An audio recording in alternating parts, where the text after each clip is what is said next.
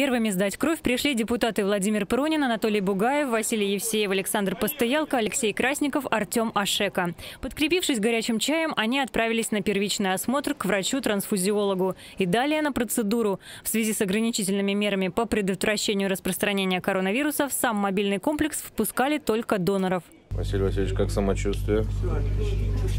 Отлично. Вместе с коллегами сдаем кровь. Заместитель председателя облдумы Владимир Пронин во второй раз стал донором. Во время службы в армии он сдавал кровь, чтобы спасти жизнь женщине. Позвонили в воинскую часть и сказали, «Э, выручите, есть солдаты с первой э, группы крови.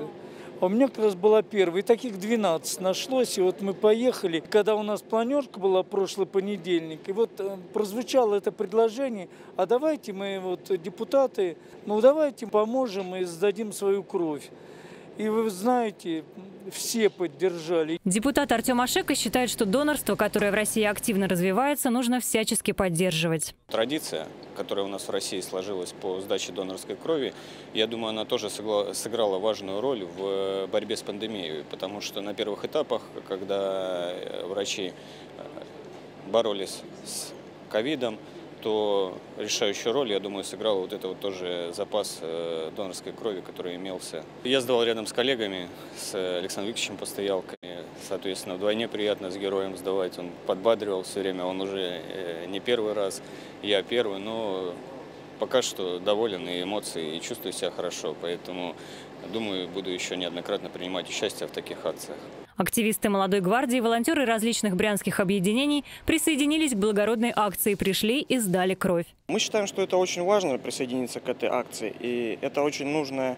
Она может спасти жизни людям, и мы всегда помогаем в трудных ситуациях, тем более в таких, как донорство. Сегодня в Брянской области более 6 тысяч почетных доноров крови. В службе крови отмечают постоянный рост активистов, ведь кровь и ее компоненты всегда востребованы. Нуждающихся в переливании крови и ее компонентов не становится меньше.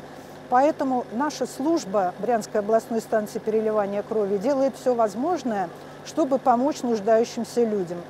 Заготавливается многочисленное количество литров донорской крови и плазмы, отправляется по заявкам лечебных учреждений в акушерские стационары, многопрофильные больницы – Депутаты областной думы стали донорами безвозмездно. Полагающееся денежное вознаграждение будет направлено на благотворительные цели. Александра Седачева, Анатолий Чекрыгин. События Брянск.